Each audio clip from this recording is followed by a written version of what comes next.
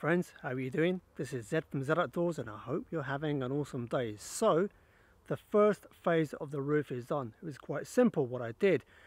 Trimmed up the sides with the axe, taking off any sharp bits, laid it on, top of the actual uh, structure itself, drilled the holes, pegged in some wooden dowels, and then trimmed those dowels off to make it flush.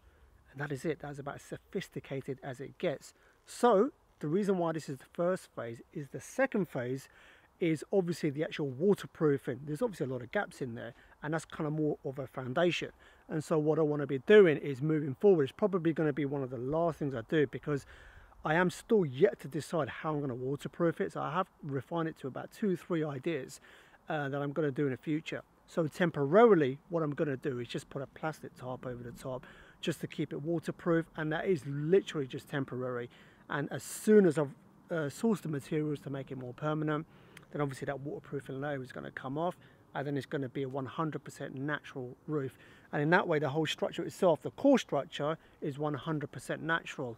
So there you go. So I hope you enjoyed this video. Pretty straightforward. It's actually taken me, me an entire day to get this done although it doesn't look like it on video. So obviously I want to keep it quite quite short uh, uh, where possible.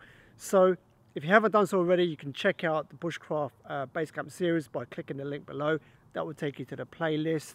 I appreciate you watching and I'll see you on the next phase of the build. We're cracking forward now we're making some good progress. So until the next time, I hope whatever you're doing, you have a blessed day, a blessed week ahead. This is Zed from Zed Outdoors. Peace out.